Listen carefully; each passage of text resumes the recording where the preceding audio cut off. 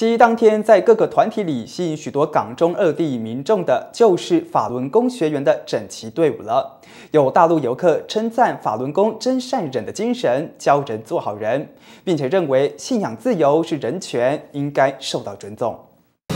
来自台湾、日本、印尼、澳门、新加坡等地的法轮功学员参加香港七一大游行，下午两点多已经在维园等候。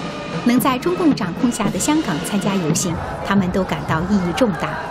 让更多的中国人，虽然在中共的邪党的那样的控制下，他们还能够看到我们大法在全世界的红船。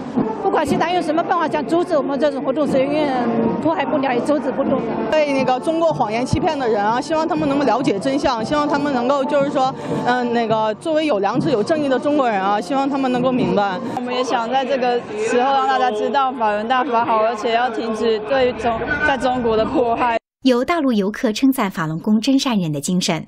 真善人，我们相当的佩服他们的，因为我们要做好人嘛，坏要你不能做，不不能够像共产党一样，这样破坏我们的老百姓，呃，祸国殃民。这是一对人权的一种剥夺吧？那你就会支持他们继续去？哎，对，支支持他们。法轮功队伍一直到傍晚五点多才开始从维园出发，不少港人支持法轮功反迫害。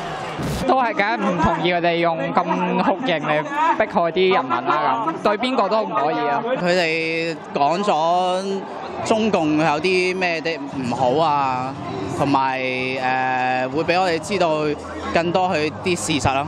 由于今年警方不愿开放六条行车线，约四个小时，游行队伍才抵达中环。新唐人记者林秀怡在香港报道。